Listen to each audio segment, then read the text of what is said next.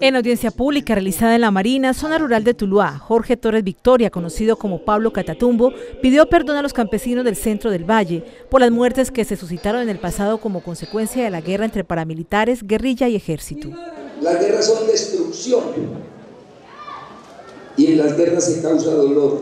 De parte nuestra, el dolor que podamos haber causado, hoy también quiero decirles que les pedimos perdón a esos familiares.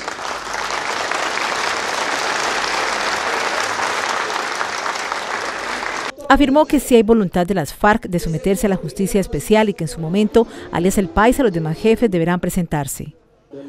No, yo, personalmente ya presenté mi, mi, documento y estoy dispuesto a cuando me requiera la justicia especial para la paz asistir.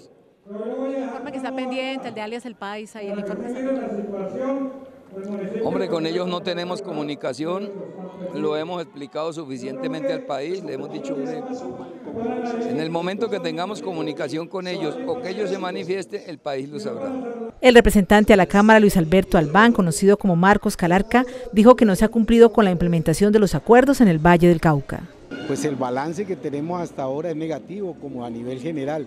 Hay cosas que se han hecho, hay esfuerzos que se han hecho, pero necesitamos concretarlos más. ¿De qué depende? Depende de la voluntad política de los gobiernos. También se exigió a las entidades estatales un informe detallado de todos los predios en proceso de extinción de dominio en el Valle del Cauca, en el cual se detalle su ubicación y el estado de sus procesos.